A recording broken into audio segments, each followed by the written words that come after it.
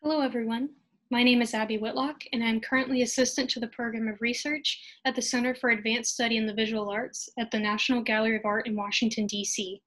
I graduated with a Bachelor of Arts with honors degree in History and European Studies from the College of William & Mary in May 2019, and I'm in my first semester of the University of Edinburgh's History Master's program.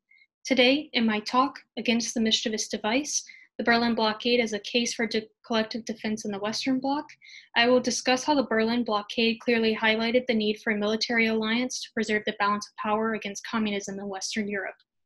After providing a brief overview of the Berlin Blockade and airlift, particularly the British and RAF involvement, I will be focusing on the impact it had on Cold War policy and the impact it had on Britain's place in the post war balance of power. After the signing of the 1945 Potsdam Agreement divided Germany into four occupation zones, the United States, France, Britain, and the Soviet Union imposed their own social, economic, and political systems in their respective zones. But the British economy was still recovering from wartime strain and was unable to fully produce the needed food requirements to sustain its zone. In order to avoid rationing back home, the British government fused its zone with the American zone, also struggling with deficit, to form Bizonia in 1946. However, as more tensions arose between the four powers, there was the fear that such economic disparity would cause communism to spread throughout Germany to the rest of Europe. After more increased tensions, such as stemming from a currency reform, the Soviets imposed a partial blockade on April 1st, restricting Western access to Berlin. This further escalated on the 23rd of June 1948, in which a full blockade of rail, road, and water routes to Western German zones and western sectors of Berlin was enforced. The Western Allies' fears of Soviet pressure further escalating had come true. By April 1948, Royal Air Force Transport Command and the British Army of the Rhine developed a plan to fly in approximately 65 tons of supplies per day using England based Dakota squadrons with no consideration for the 2 million Berliners living in Western sectors. Air routes had been confirmed and written agreements made between the four powers prior to the Soviet imposed Berlin blockade, which were approximately 20 miles wide. The daily requirement for food to feed Berlin's civil population would be estimated to be around 1,800 to 2,000 tons of food per day, approximately 900 tons of potatoes, 641 tons of flour, 106 tons of meat, and fish, and 105 tons of ingredients such as cereals. The first British flights came on 25th June 1948, with three Dakotas carrying 6.5 tons of supplies into Berlin, including food. After initial flights were successful and British officials recognized the importance of maintaining presence in Berlin to upkeep German morale, plans to transport goods to the civil population were developed under the then codename Operation Plainfare. By June 28th, RAF Chief of Staff Lord Tedder then reported that the RAF could transport 75 tons to Berlin per day, which increased to 400 tons per day when additional RAF aircraft arrived, and to 750 tons by early July, when repairs to the runway at Gatow Airport would be complete. The target of 75 tons was reached by 54 of the total 112 Dakotas the RAF had, with the arrival of 40 Avro York transport aircraft, which could transport 7.5 to 8.5 tons per day per flight, the number of Dakotas was re- then reduced to 32. By 14 July, the daily tonnage target reached 840 tons, and officials decided the most efficient force would be 40 total York transport aircraft with 60 crews and 42 Dakotas with 63 aircraft. With the Yorks, it was estimated that they could carry up to 1,000 tons. In July 1948, the Royal Air Force introduced two squadrons of short Sunderland flying boats that would then land on the River Elbe and Lake Havel and carry up to 10,000 pounds per trip. Each flight would consist of carrying food and other necessities into Berlin and returning with either refugees or industrial goods. By December 1948, Sunderland transported 4,500 tons of food and British exports and also carried around 1,100 refugees for medical treatment. Despite the introduction of Sunderland flying boats and American aircraft joining the flights by July, British officials recognized that more aircraft would streamline the airlift further. With this in mind, they turned towards civil airlines to fulfill their need to fly liquid fuel into Berlin, a task deemed too hazardous for military aircraft. The main source came from Sir Alan Cobham's Flight Refueling Limited, who had pioneered air to air refueling and possessed fully equipped tanker aircraft by 1948. By August, the British expanded their contracts to include British Airlines, such as British European Airways, and the first civil freighter aircraft arrived by the 4th of August, including a Handley Page Halton of Bond Air Services. A disagreement between British and American officials came in the transportation of particular goods, specifically export goods. Viewing the time spent loading export goods and after transporting goods into Germany as wasted, American pilots were hesitant to fly German goods out of Berlin. However, British officials reasoned that if Berlin specific goods were not flown out, manufacturing firms were at an increased risk of closing and more workers would lose their jobs, thus, not only further straining the airlift, but also being advantages to the Soviets ideology wise.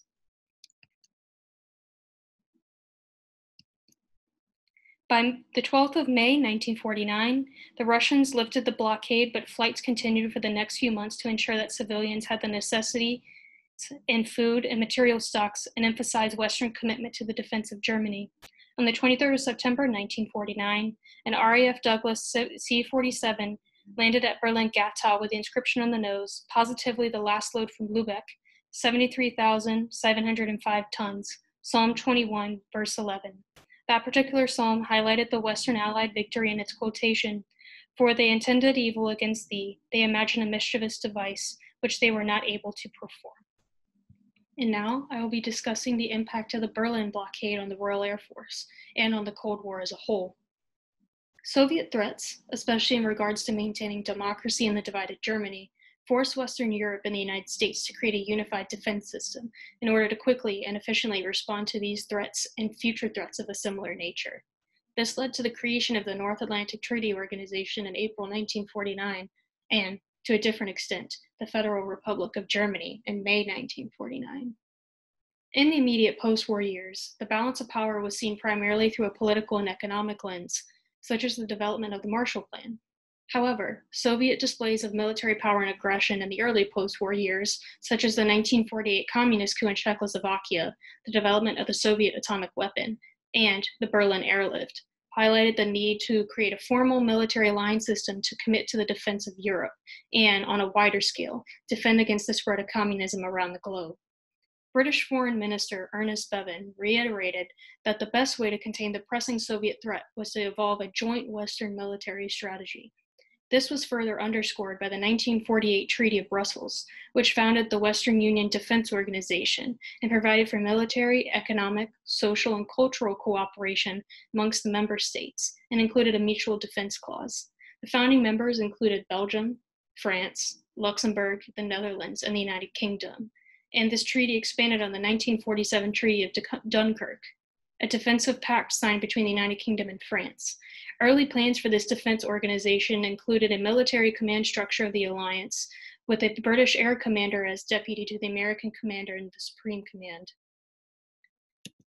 In April 1949, the five Treaty of Brussels states, the United States, Canada, Portugal, Italy, Norway, Denmark, and Iceland signed the North Atlantic Treaty, which provided for the collective security and defense measures initially brought up in the Western Union Defense Organization, the North Atlantic Treaty Organization was created to implement this treaty and constituted a system of collective defense where independent member states agreed to mutual defense in response to an attack by external forces, such as the Soviet Union.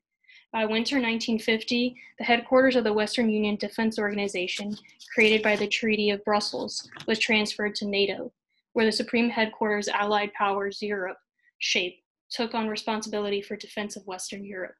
West Germany, whose future was secure, secured by the Berlin airlift, joined NATO in May 1955. Although initially aimed at containing the immediate threat of the USSR, NATO's mission would expand towards containing communism and other threats, as seen until this present day. Despite the creation of collective defense measures is associated with the major legacy of the Berlin airlift, the Berlin crisis also solidified Britain's role in the post-war balance of power, in which the Royal Air Force would have a strong role to play. British involvement in the Berlin blockade and subsequent airlift was crucial not only for Britain's economic rebuilding, but it also served as an attempt to preserve Britain's presence on the world stage as a major power alongside, rather than below, the United States, as commonly thought, by showcasing military strength through air power and establishing the base for collective defense organizations. Although Western Europe looked to the United States to take the role in post war rebuilding and movements towards maintaining the balance of power in an economic, political, and military sense, the Berlin airlift and the British role in planning and execution solidified Britain's role as a major player in the post war balance of power. Although the Berlin airlift is seen as a major success, especially in mobilizing and maximizing manpower and aircraft in a relatively short period, the early days of approaching the Berlin crisis were met with a struggle. Initially, the Western Allies could not agree on a course of action to break the blockade or how to at least access Berlin. Although the United States was initially looked to as the leading force in the Western Allies, Washington struggled to propose a method for approaching the crisis. After General Lucius Clay, the American military governor, proposed an Anglo American lorry convoy, it was the British cabinet, led by Foreign Secretary Ernest Bevin, that proposed supplying Berlin by air. The airlift supported the British policy of staying in Berlin, avoiding another war, and proceeding with the London program. By June 1948, British officials reported that the British garrison in Berlin could be supplied by air. However, there would only be so civilian population food stocks for 27 days. Foreign Secretary Bevin pushed for making the airlift a joint operation logistically and called for heavy US bombers to be sent to accompany British transport aircraft.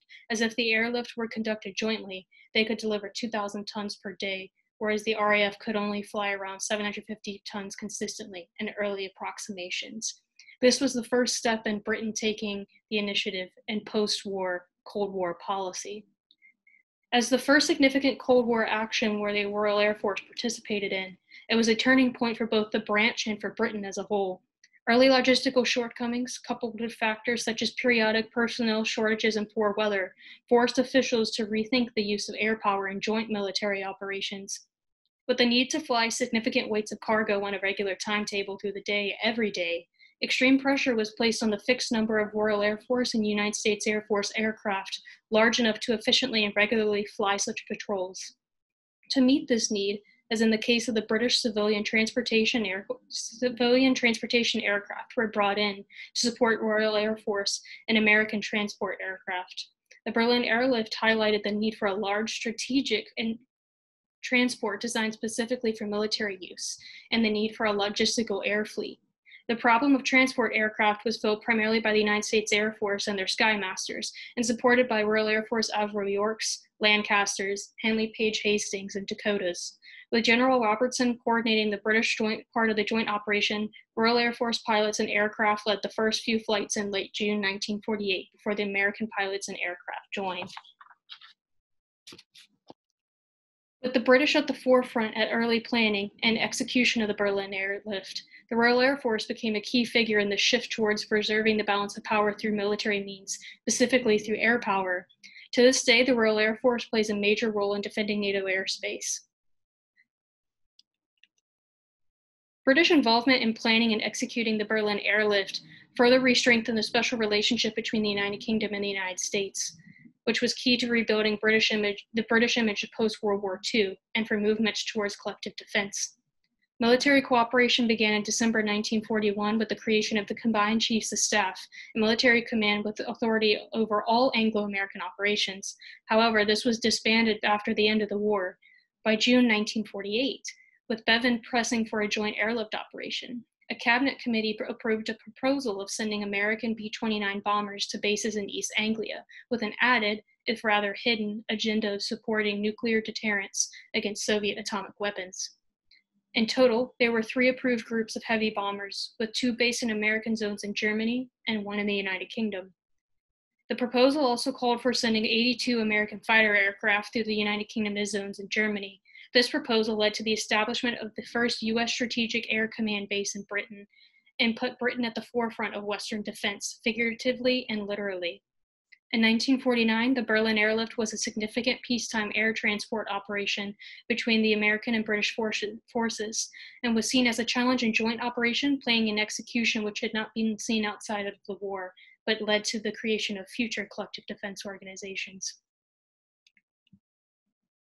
Initially, Britain stepped back from leading the containment of the Soviet threat with the 1947 withdrawal of aid to Greece and Turkey. However, leadership in the Berlin airlift provided an opportunity for Britain to return to the helm. Under the leadership of the Labor government, Foreign Secretary Bevin, and military officials like General Robertson, Britain exercised autonomy and a significant level of control and leadership in the approach to the Berlin airlift, putting faith, in, putting faith in the Royal Air Force and its other sources of air power in order to push for the airlift and their own control in the planning. With such control and initiative in planning and execution, Britain influenced the establishment of not only joint military operations and collective defense alliances that they would be a part of in the upcoming years, but also pushed for the United States to have a more aggressive, hard position on the Soviet Union and its pending military threat. During the Berlin airlift, from its early planning days to the sorties between 1948 to 1949, Britain lifted itself from being viewed as a sidekick to the United States and exercised considerable influence over the development of Western policy and action in the early critical phase of the Cold War. Thank you so much for listening.